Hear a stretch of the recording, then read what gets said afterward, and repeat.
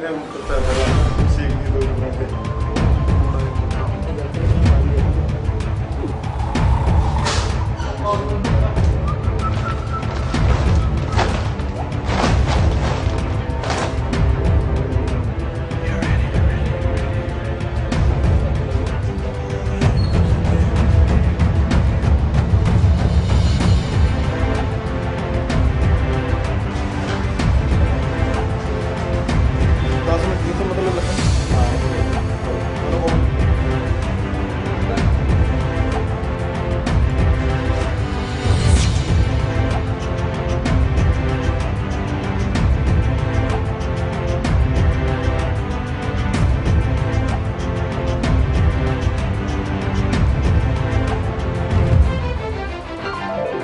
ਕਿ ਸਾਡੇ ਕੋਲ ਇੱਕ ਗੁਪਤ ਇਨਫੋਰਮੇਸ਼ਨ ਆਈ ਸੀਗੀ ਕਿ ਇੱਥੇ ਇੱਕ ਪ੍ਰਵੀਨ ਨਾਮਕ ਵਿਅਕਤੀ ਹੈ,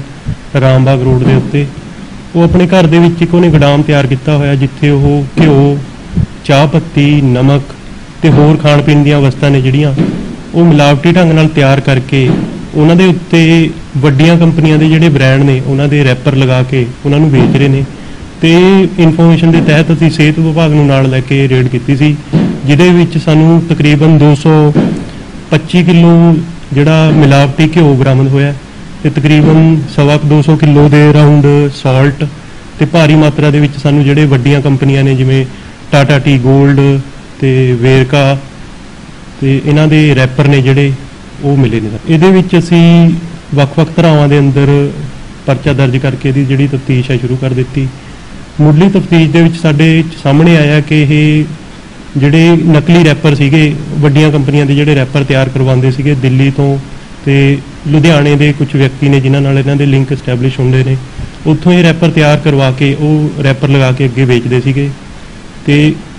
ਇੱਥੇ ਜਿਹੜੇ ਮਾਨਸਾ ਦੇ ਸ਼ਹਿਰ ਨੇ, ਜਿਵੇਂ ਸਰਦੂਲਗੜ੍ਹ, ਝਨੀਰ ਬੁਢਲਾਡਾ ਉੱਥੇ ਇਹ ਜਿਹੜਾ ਮਾਲ ਸੀ ਆਪਣਾ ਸਪਲਾਈ ਕਰ ਰਹੇ ਸੀਗੇ। ਇਹਦੇ ਵਿੱਚ ਅਸੀਂ ਇੱਕ ਗ੍ਰਿਫਤਾਰੀ ਹੋਈ ਆ ਪ੍ਰਵੀਨ ਕੁਮਾਰ ਦੀ,